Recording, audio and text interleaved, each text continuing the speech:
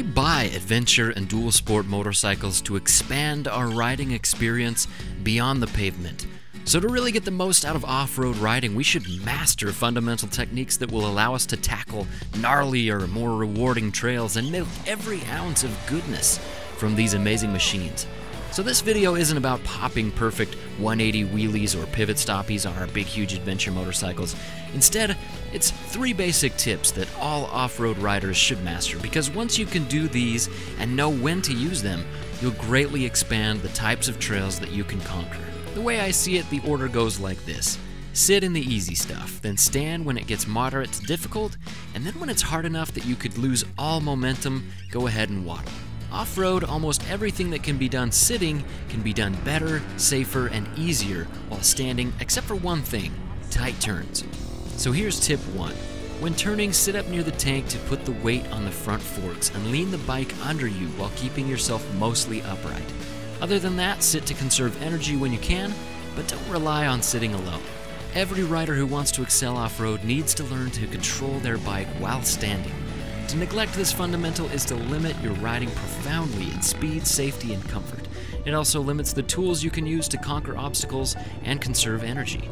Seat bumps, preloading, jumps, de-weighting, useful wheelies, clearing obstacles, those are all needed in trail riding and they're all done easiest while standing. Because it's so important, we'll be doing another video that covers only standing, but possibly the biggest tip to standing is to keep your weight forward. You should never feel like your bike is pulling you. Tip 2 is to stand in the attack position with your knees and elbows slightly bent and your chin over the bar. Keep a fairly loose grip and rely on your legs more than your arms and butt to keep you comfortably forward and in control of your motorcycle.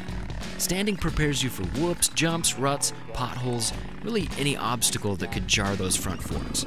Standing lets your knees and arms act like extra suspension, which lets the bike flow under you. The motorcycle should feel like it's pushing you forward, not pulling.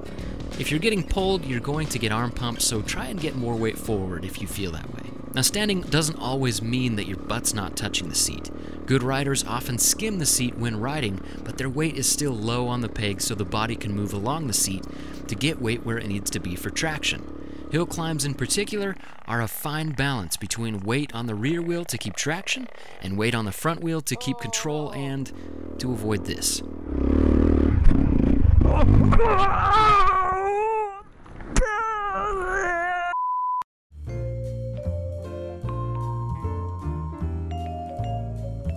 And now for the waddle. Generally, waddling happens when you get a bit out of control or pick a bad line or don't have a good run up to an obstacle.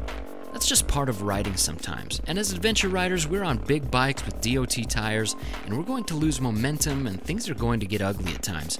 So, waddling correctly and safely is a good thing to learn because it preserves trails and keeps traction and gets you to places where you want to go. Now, there is no shame in waddling, but use it really sparingly. Enduro riders waddle in the toughest situations, but only after they've lost momentum. While waddling is the go to when you lose momentum over an obstacle, it shouldn't be the go to on every single obstacle. Waddling when you already have momentum can catch your foot and throw you out of control, so try not to dangle your feet when riding challenging terrain. You'll find much more control with your feet right on the pegs. So, for tip number three, when waddling, resist the temptation to try to push the bike over the obstacle with your toes. Instead, focus on pushing your weight down near the back of the seat and let the weight make the rear wheel push you forward. If your butt leaves the back of the bike from trying to awkwardly hike with a motorcycle between your legs, weight is gone, traction is gone, and the tires just spin, and that wrecks trails. Think of it as using your legs to first stabilize, then to pull yourself rather than to push. It might help to try to use your heels more than toes when you try to waddle.